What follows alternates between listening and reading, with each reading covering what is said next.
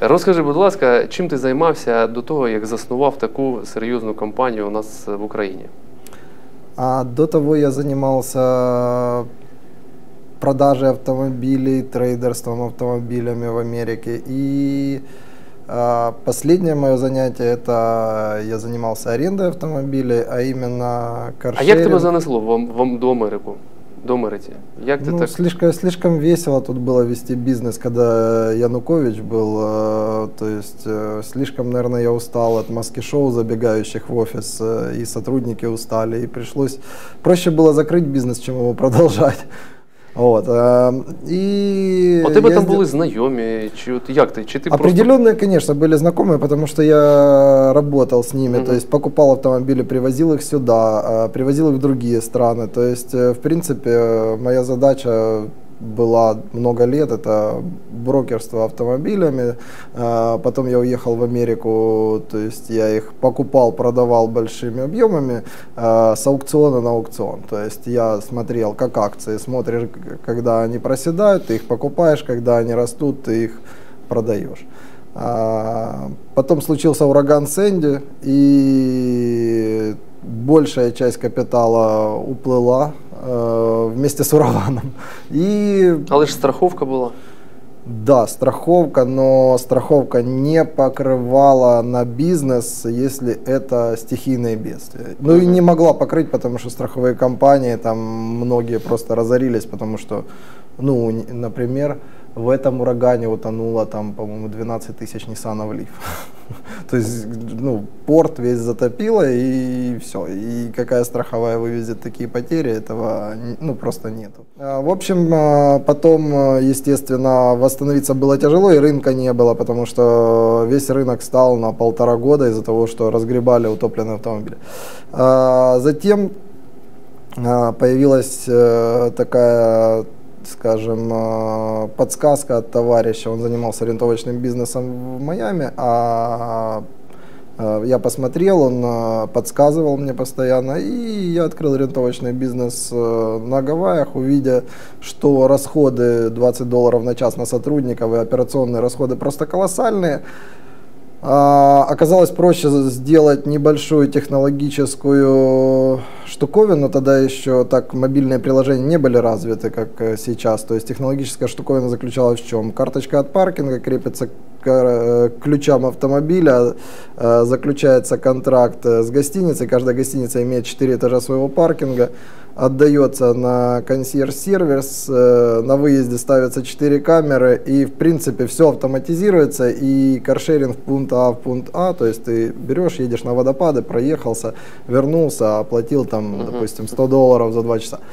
И таким образом, когда у меня выросла до 110 автомобилей, э, такая компания, то у компаний, которые там, а это Гонолулу, э, и я работал в район Вайкики, и там получается ситуация такая на Гавайях, что там парковаться в принципе негде. И рентовочные компании от этих 100 машин начали полтысячи в сутки загрузку терять. И, естественно, э, в Америке это работает так. э, А ты мешаешь конкурента, сильный конкурент и так далее, проще тебя купить. Вот. Ну и компания решила купить, потом я немножко у них э, поработал в отделе э, инноваций, то есть моя задача была со всеми ходить, поговорить и подсказать, как делать, а там они уже решают сами, делать или не делать. Вот они платили мне там полгода 100 долларов на час, просто из-за того, что я ходил и болтал с ними. Ну, непогано. Было приятно. Ну, учитывая, что уже там 5 миллионов было, то не было, ну, такой, не, в деньгах был интерес, просто интересно было тусоваться. плюс А им атмосфера интересно- Гаваї. да, а им интересно было, э, потому что нужно было, э, так скажем, придержать возле себя хотя бы э, NDA, то есть подписано соглашение, что я не занимаюсь больше арендным бизнесом э, без них. Либо с Мгм. ними, э, без них нет.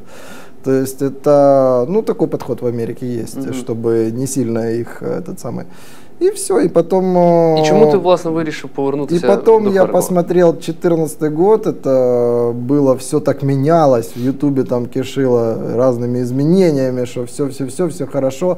Э, Как-то совпали звезды, то есть в Ютубе там куча всяких там изменений э, в стране.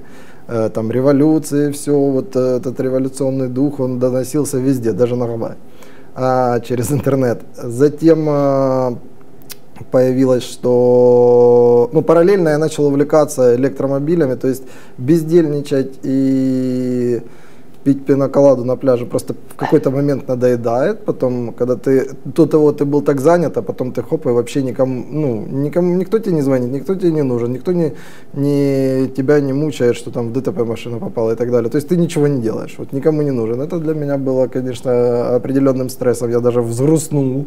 То есть я понимал, что этих денег никогда эта компания не принесет мне, но тем не менее. Вот, ну, не суть. И я посмотрел, что я бесполезно там покупаю, там купил себе несколько там luxury автомобилей, некоторые поменял трейдин, балдею, болтаюсь, это не приносит на самом деле долго, э, ну больше месяца это все. Uh, идей особых не было, а потом uh, увлекся там жизнью Илона Маска, и вот потому хотелось подражать ему, и все. Хотелось подражать, просто подражание мое закончилось на маленьком, это привозить электромобили в Украину, это все мое подражание. А, да, и стройными рядами поехали сюда электромобили, ну а естественно... Со скільки а, років если... ти вже на ринку в Украине?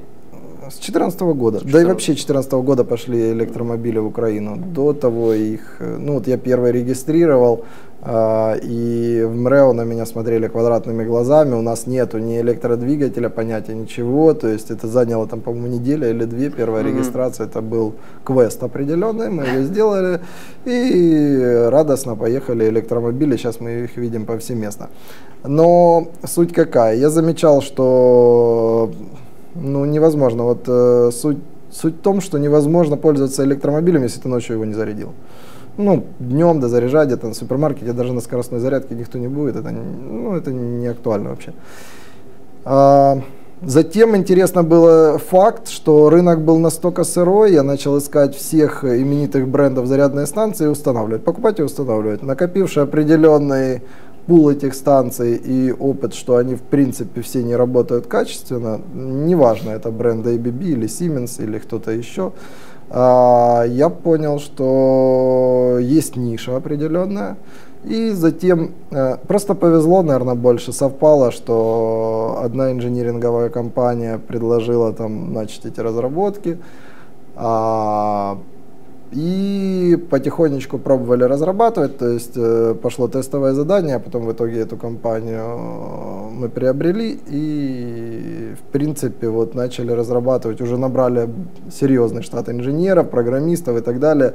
То есть на сегодня мы есть номер один в мире э, по софту, если брать вот э, шаг за шагом сравнивать э, параметры, то есть э, железо, это там платы, сборка и так далее номер один и ценник. А, что касается софта внутри железа, это отдельная история тоже номер один. У нас есть инновационные вещи, которые вин-идентификация автомобиля. Но кто мог подумать, когда я начинал, или чем думали производители, когда они просто не заложили идентификацию от машины, когда ты уже общаешься да, с, со станцией. Mm-hmm. То есть у тебя есть протокол, у тебя все есть, ты не закладываешь. При этом нам пришлось это дорабатывать и, ну так скажем, исправили косяк именитых брендов.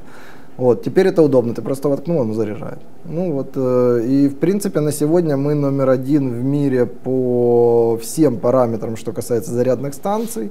А, кроме параметра, мы на четвертом месте, это по количеству, которое наших станций произведенных установлено в мире.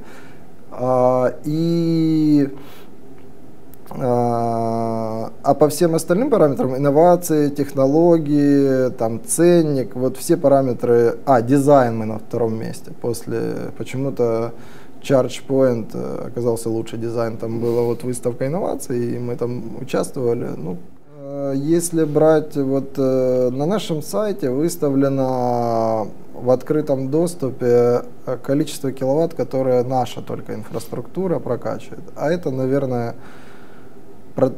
это от публичной инфраструктуры 95%, да, ну, она не вся наша, мы производим оборудование, я имею в виду наше оборудование. А, и на сегодня получается такая история, что заряжаются люди там где-то процентов 50 дома, процентов 50 на публичной инфраструктуре.